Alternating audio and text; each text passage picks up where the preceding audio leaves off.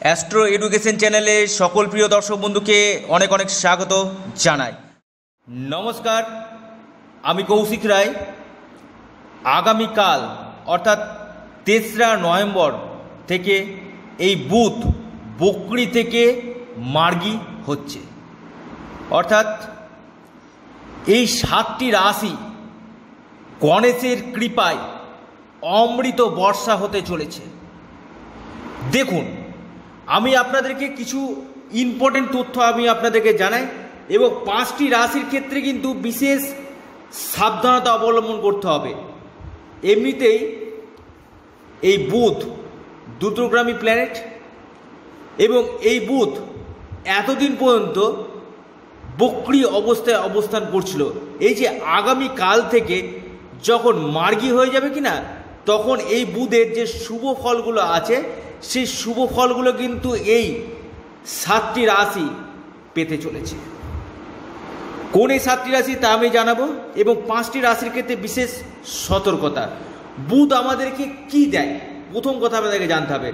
দেখুন, যারা সেলসের ডিপার্টমেন্টে কাজ করছেন, এটা বুধের আন্ডারে। যারা মার্কেটিংয়ে আছেন, এটা বুধের আন্ডারে। যারা ফাইন্যান্সের ফাইন্যান্সে যারা আছেন, এটাও কিন্তু বুধের আন্ডারে। যারা উকিল, তারা এটাও কিন্তু বুধের আন্ডারে আছে।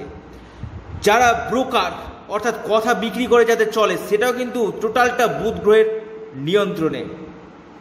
যারা লেকচারার ভালো লেকচারার বা যারা রাইটার এটাও কিন্তু বুধ কিন্তু নিয়ন্ত্রণ করে। এবং যারা খুব ভালো বিজনেসম্যান অর্থাৎ প্রচুর প্রচুর প্রতিদিন ব্যবসা রমরমিয়ে চলে, তাদের জানবেন বুধ গ্রহ এবং শুক্র গ্রহ কিন্তু রাশিচক্রে ভালো আছে। বুধ যদি আপনার রাশিচক্রে ভালো থাকে, আপনার ব্যবসা ক্ষেত্রে প্রচুর উত্থান কিন্তু হবে। এবং বুধ যদি আপনার রাশিচক্রে ভালো থাকে, আপনার ক্ষেত্রে এই যে যে বর্তমান সময়, যে বুধ মার্গি হচ্ছে, আপনার শেয়ার মার্কেট থেকে প্রচুর অর্থ কিন্তু আপনারা পাবেন। অর্থাৎ শেয়ার থেকে আপনারা ইনকাম এবং স্টক বিজনেস এর থেকেও কিন্তু প্রচুর অর্থ কিন্তু আপনারা পাবেন। বুথ বেসিক্যালি কি করে? যারা এডুকেশন যাদের রাশিচক্রে বুথ খারাপ আছে তাদের ক্ষেত্রে কিন্তু এডুকেশন দিকে কিন্তু প্রবলেম তৈরি করে। এবং যারা স্কুল নিয়ে করছেন, নিজস্ব স্কুল আছে, তাদের ক্ষেত্রে কিন্তু খুবই ভালো। এই বুথ যদি ভালো থাকে বুধ হচ্ছে কথা বলার কারক গ্রহ। আপনি কেমন কথা বলবেন? যে বাচ্চা স্পষ্ট কথা বলতে পারে না, তার জানবেন বা কিছুটা তোতলা, তার জানবেন বুধ ড্যামেজ আছে।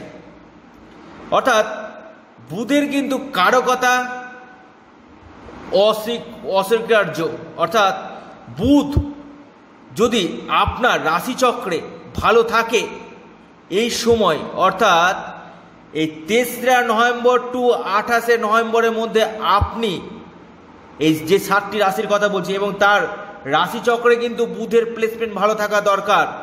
তবেই গ্রহের গোচর অনুযায়ী কিন্তু আপনাদের এই গণেশজির কৃপায় আপনারা অমৃত বর্ষা হতে চলেছে আপনাদের জীবনে। দেখুন, প্রথমে আমি জানিয়ে দিই কোন এই পাঁচটি রাশি সাবধান।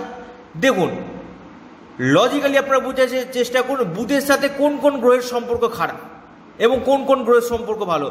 বুধের সাথে বুধের শত্রু গ্রহ হচ্ছে মঙ্গল, বুধের শত্রু গ্রহ হচ্ছে চন্দ্র এবং বুধের শত্রু গ্রহ হচ্ছে বৃহস্পতি। এই তিনটি গ্রহ বুধের ক্ষেত্রে কিন্তু অ্যান্টি গ্রহ এবং মিত্র গ্রহ হচ্ছে আপনার শুক্র এবং শনি। দেখুন এই ক্ষেত্রে আমি যে পাঁচটি রাশির কথা বলব, সাবধান। প্রথমে আপনাদেরকে জানি সেটি হচ্ছে মেষ রাশি, আপনার কর্কট রাশি, আপনার ধনু রাশি, মীন রাশি এবং বৃশ্চিক রাশি। এই কটি রাশি, মেষ, কর্কট, বৃশ্চিক, ধনু, মীন, এই পাঁচটি রাশির ক্ষেত্রে বিশেষ সাবধানতা থাকতে হবে। আর যে সাতটি রাশির কথা বলব, প্রথম যে রাশি আমি বলতে চলেছি সেটি হচ্ছে আপনার মকর রাশি। মকর রাশির আপনাদের দেখুন, আপনাদের নবমপতি দশমভাবে কেন্দ্রে অবস্থান করছে। এই যে কেন্দ্র ত্রিকোণের সংযোগ, আপনাদের ক্ষেত্রে ভাগ্যদয় কিন্তু আপনাদের হবে। এবং আপনাদের শেয়ার থেকে, আপনাদের ব্যবসা থেকে, যারা উকিল আছেন, উকিল থেকে যারা লেকচারার আছে লেকচার থেকে লেকচারার আছে, তাদের ক্ষেত্রে প্রচুর অর্থ কিন্তু আপনারা এই সময় পাবে। অর্থাৎ গণেশজির কৃপা আপনাদের উপর পড়তে চলেছে। বিদেশ থেকে অর্থ আপনাদের আসবে। বৈদেশিক যারা এক্সপোর্ট ইম্পোর্টের ব্যবসা করছেন, তাদের ক্ষেত্রে কিন্তু খুবই ভালো। দুই নম্বর যে রাশির কথা বলব, সেটি হচ্ছে কুম্ভ রাশি। কুম্ভ রাশির, দেখুন আপনাদের ঠিক পঞ্চমপতি, এই বুধ আপনাদের রাশির নবমভাবে অবস্থান করছে। এই যে পঞ্চম নবমের কানেকশান আপনাদের এডুকেশন থেকে আপনাদের লাভ, যারা লেকচারার আছেন বা প্রফেসররা আছে, তাদের লাভ, যারা টিউশনি পড়ান, তাদের ক্ষেত্রে লাভ শেয়ার মার্কেট থেকে লাভ এক্সপোর্ট ইম্পোর্ট থেকে লাভ ব্রোকার আছেন, তাদের ক্ষেত্রে যথেষ্ট লাভ এই সময় ধনবর্ষা হতে চলেছে। এবং বিদেশ থেকে অর্থ আসবে এই সময় কুম্ভ রাশির। ভাগ্যদয়, ভাগ্যের দ্বারা যে কাজগুলো হয় সেইগুলো কিন্তু আপনাদের হবে।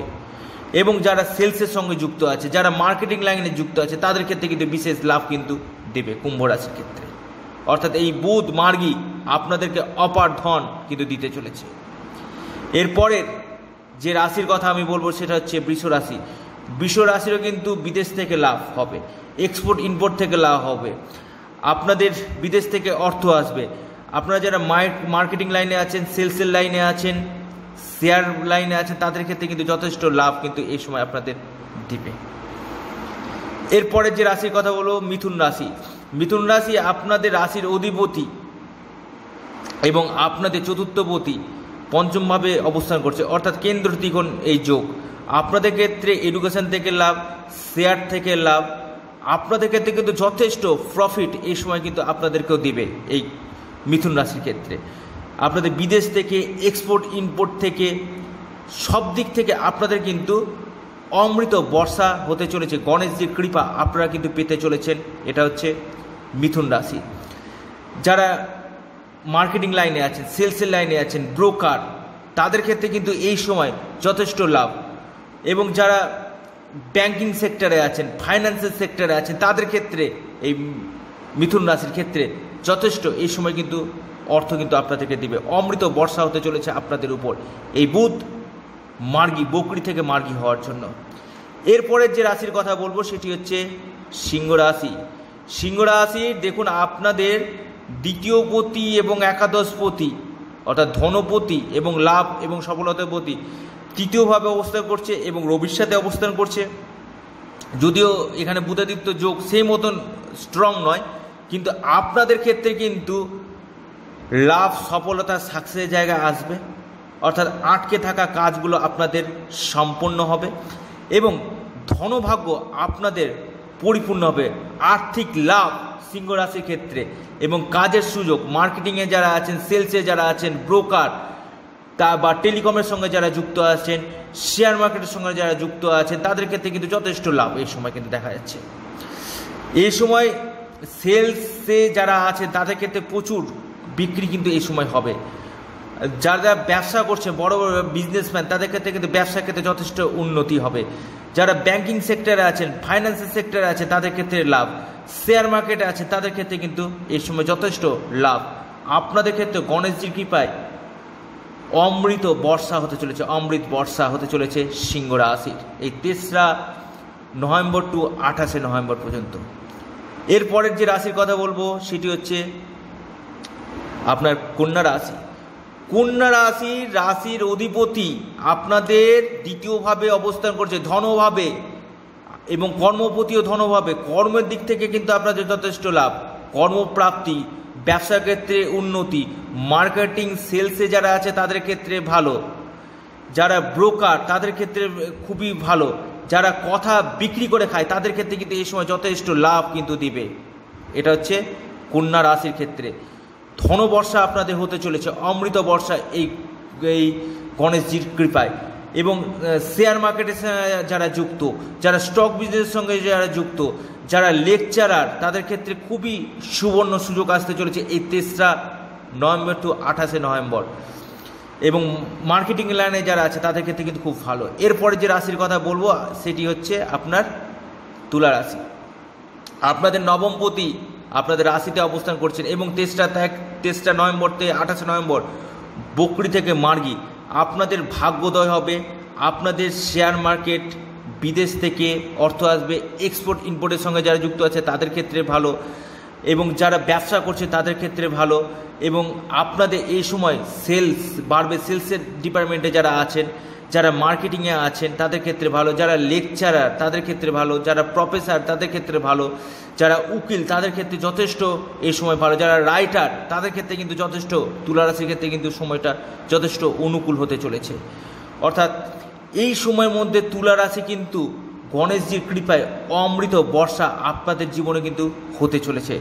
অর্থাৎ আপনাদের রাশিচক্রে, আমি আবারও বলছি, যদি আপনাদের রাশিচক্রে বুধ গ্রহ যদি আপনাদের স্ট্রং থাকে, বুধ যদি আপনাদের তুঙ্গগৃহে থাকে, বুধ যদি অস্তমিত না হয়, বা বুধ যদি বকরি না হয়, বা বুধ যদি নিচস্থ না হয়, এই সময় কিন্তু এই তেসরা নভেম্বর টু আঠাশে নভেম্বরের মধ্যে এই সাতটি রাশি গণেশজির কৃপায় আপনারা পাবেন প্রচুর অর্থ। অর্থাৎ আমি আপনাদেরকে আবারও বলছি এই যে যে তুলা রাশির কথা বলছে, আপনাদের নবমপতি এই এই বুধ রাশিতে, অর্থাৎ কেন্দ্রে অবস্থান করছে, ত্রিকোণের স্বামী কেন্দ্রে অবস্থান করে, অর্থাৎ এই যে কেন্দ্র ত্রিকোণের যোগাযোগ ভাগ্যোদয়িতা আপনাদের করাবে। শেয়ার থেকে আপনাদের যথেষ্ট প্রফিট কিন্তু দেবে।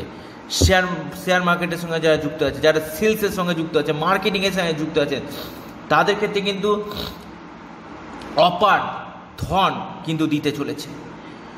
অর্থাৎ ধনবর্ষা হতে চলেছে এবং এর এর দ্বারা আপনাদেরকে জানাই, যাদের রাশিচক্রে বুধ খারাপ আছে, তারা বুধের বীজ মন্ত্র আপনারা পাঠ করুন।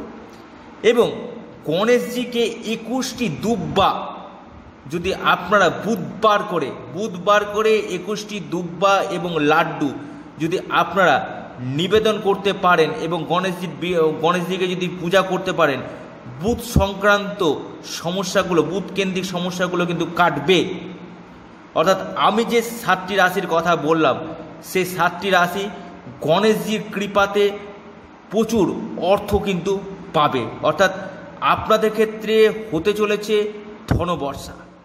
অর্থাৎ এই সময়, এই আঠাশে আঠাশে নভেম্বর পর্যন্ত, তেসরা নভেম্বর টু আঠাশে নভেম্বর পর্যন্ত এই বুথ থাকছে আপনাদের মূল ত্রিকোণে। এই মূল ত্রিকোণে এবং এখানে শুক্রের সঙ্গে অবস্থান করছে ষোলোই নভেম্বর পর্যন্ত এবং রবির সঙ্গে অবস্থান করছে ষোলোই নভেম্বর পর্যন্ত।